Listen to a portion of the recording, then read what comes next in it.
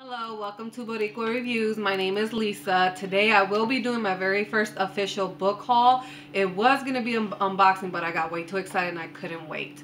So let's get started. Okay, so this first book, I've seen it at Barnes & Noble's.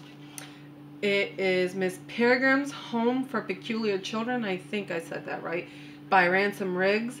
Uh, what caught my attention was the cover. The little girl, she looks kind of creepy and she's levitating off the ground. Um, and then the pictures on the back, these are actual pictures and the author used real pictures in with his book. So you see them in through the book.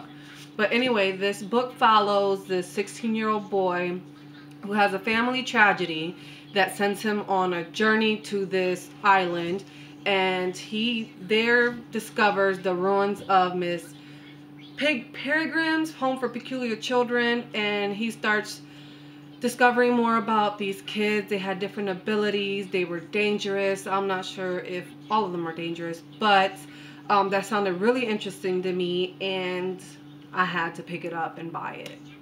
So it's a must read. Okay, the second book that I have is The Archived by Victoria Schwab. Um, I seen this on BookTube. I don't too much know too much about it. I just know that it's about this girl named Mackenzie. Uh, she is a keeper at this library for the dead.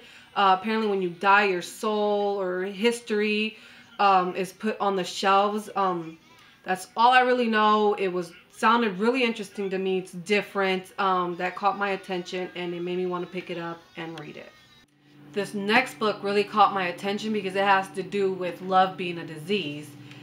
It's called Delirium by Lauren Oliver. It's a dystopian novel that takes place in the future where, like I said, love is a disease.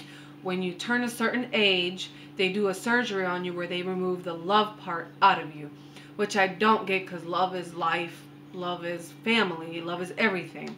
But it really sounds like an interesting read. Okay, this next book I've been wanting for a couple of months now. I'm really excited about it. It's The Selection by Kiera Cass. I've been hearing a lot of great things about this book. Um, it's like the Hunger Games meets The Bachelor meets Cinderella. Um, that just really caught my attention from what everyone else was saying, so I'm really excited about this one. Okay, this last book in my book haul is Steelheart by Brandon Sanderson. This book takes place in future Chicago where there are epics. Epics are supervillains. Uh, Steelheart is the most powerful one. He is invincible.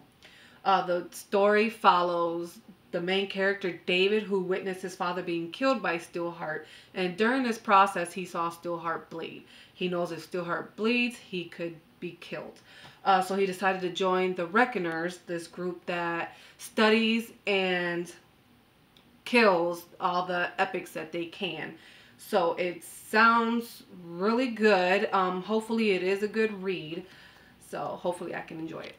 So this is my book haul. I did get these books from Amazon. Uh, they did send me the selection a little ripped, but that's okay.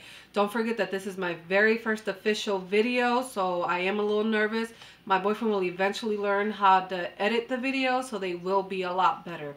My next video will be on another book haul, but this these books are going to be from Books Outlet. Thank you for joining me in Boricua Reviews. Don't forget to subscribe and like. Bye. See you next time.